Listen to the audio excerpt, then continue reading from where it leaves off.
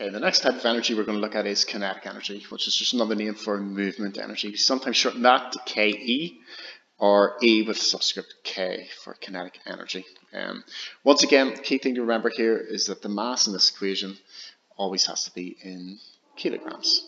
Now, the squared in this equation makes it interesting because it means if I double the velocity, the kinetic energy doesn't double, it actually does increases by 2 squared, which is 4 times. So if the car's traveling twice as fast, it actually has 4 times as much energy. Let's look at an example then. So a ball of mass 500 grams is kicked at a speed, so that's our velocity when we're dealing with um, kinetic energy, and we're asked what will be its kinetic energy. First thing I need to do is divide by a thousand to convert my mass into kilograms. I then do write in my equation, put in my values,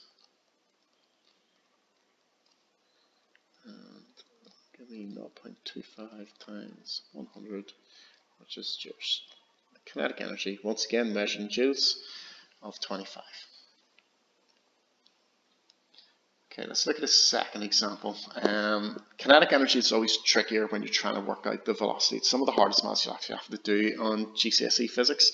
So it says a ball of mass 4 kilograms, don't need to do anything with that, it's already in kilograms, has a kinetic energy of 128 joules. What is its velocity?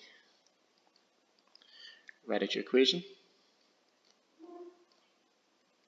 Put in the values that you know. So our kinetic energy is 128 is equal to half times 4 times v squared. Half times 4 is just 2. Divide both sides by 2. Gives us that v squared is 64. Take square roots of both sides will leave us with v on that side. And the square root of 64 is just 8. And it's a velocity, so it's meters per second.